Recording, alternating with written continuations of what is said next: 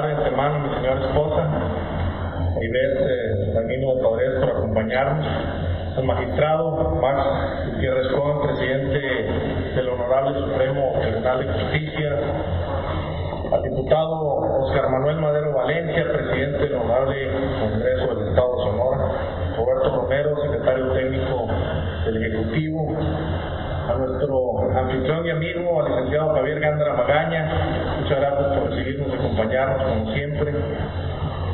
A Manuel Barro Borgaro, presidente municipal de Cajeme, muchas gracias por tus palabras.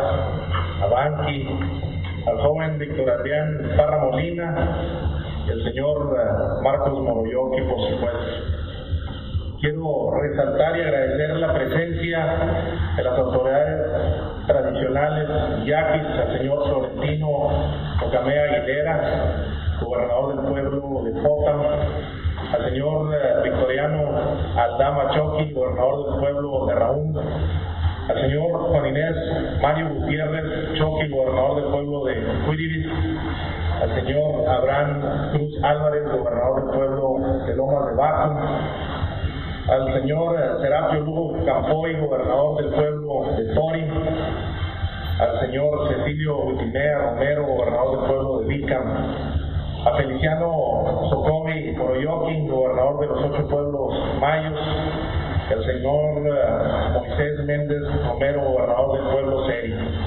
Los saludo a todos y les agradezco su presencia. Estimados alcaldes, funcionarios públicos, señores empresarios, a todos les agradecemos que estén aquí presentes en la instalación del Comité de Planeación para el Desarrollo del Estado de Sonora. Estimados amigos y amigas, es muy grato para mí estar el día de hoy con ustedes en la instalación de este importante consejo. Es muy significativo para mí porque una de las demandas más recurrentes durante la campaña fue la solicitud de los sonorenses de participar en la planeación económica y social del Estado de Sonora. Hoy le respondemos positivamente haciendo una extensiva invitación a todos a participar en la definición de un nuevo modelo de desarrollo para Sonora. Para tal efecto, a través de un ejercicio abierto de participación ciudadana y de la sociedad en conjunto, se debe asegurar la elaboración y ejecución de un plan estatal de desarrollo que logre una articulación y coordinación efectiva de los tres niveles de gobierno. Hoy más que nunca tenemos la gran oportunidad de participar los tres niveles de gobierno con la perspectiva de largo plazo, sin sacrificar lo urgente, por supuesto. El nuevo gobierno se ha comprometido a caminar de la mano de los sonorenses, involucrando a todos los actores políticos, económicos y sociales en un ejercicio de corresponsabilidad y visión compartida. Para tal efecto, la participación ciudadana debe ser siempre nuestra brújula, debe ser siempre el fiel de la balanza que nos ayude a definir un rumbo que debemos tomar para un desarrollo integral de Sonora. Esa es la tarea esencial del COPLADE. Ese es el compromiso fundamental que hacemos el día de hoy, todos con nuestro Estado, con nuestra gente y con nuestro futuro. La prioridad es clara, encontrar nuevas rutas, nuevos modelos que nos permitan atender de manera más eficaz las demandas más sentidas de nuestros ciudadanos y de los que menos tienen. Esto sin duda amerita acciones y políticas diferenciadas para darle lógica al proceso, vinculando las políticas nacionales, estatales y municipales. Estamos en la inauguración de un nuevo gobierno que trabajará para hacer realidad un nuevo Sonora, que plantee un nuevo modelo de trabajo que sea diferente, con principios basados en la participación corresponsable de los ciudadanos y los funcionarios públicos. Por eso no tengo duda de que juntos podemos construir una nueva historia para Sonora no tengo duda de que juntos podemos escribir una historia de éxito para los sonorenses sobre todo para nuestros hijos, para el Sonora que les queremos heredar.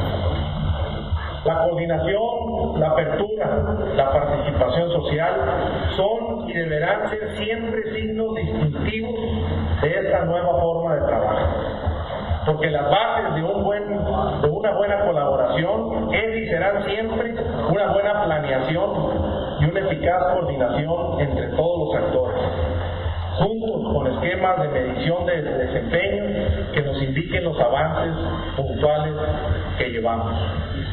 Estas son las premisas del nuevo Sonora, donde la coordinación y concertación de las acciones entre el gobierno y la sociedad civil marcarán y justificarán el rumbo de cara al futuro. Quiero detenerme para resaltar la visión de un nuevo Sonora. La visión de un nuevo Sonora implica la unidad, la reconciliación y el trabajo de todos los actores políticos del Estado. Hablo de, la unidad porque yo no veo un gobierno del Estado sin la participación activa del Congreso del Estado y sus diferentes grupos parlamentarios. Los necesitamos a todos. Yo no veo un nuevo Sonora si no está trabajando el gobierno del Estado con todos los alcaldes, indistintamente de qué partido han llegado. Los necesitamos a todos. Yo no veo a un nuevo Sonora sin la participación y la coordinación de los alcaldes, gobierno del Estado, con el presidente de la República. Es hora de que trabajemos todos juntos. Y para lograr ese éxito, me queda muy claro que este nuevo Sonora solo lo podremos construir si hacemos un reconocimiento al trabajo emprendido en todos los años que nos anteceden. Quiero que quede muy claro, este nuevo Sonora reconoce abiertamente, públicamente, el trabajo que han hecho los gobiernos que estuvieron antes que nosotros. Y sobre esas bases sólidas es donde vamos a unir fuerzas y queremos unir fuerzas todos para formar un nuevo futuro para nuestros hijos. Esa es la etapa y ese es el reto que tenemos todos aquí presentes. Tomémonos con mucha responsabilidad, pero sobre todo con el amor, como lo decía Winston Churchill, el amor a las nuevas generaciones, no lo que nos mueven las próximas elecciones. Unidos vamos a salir adelante. Sonora es fuerte y se lo vamos a demostrar. Muchas gracias.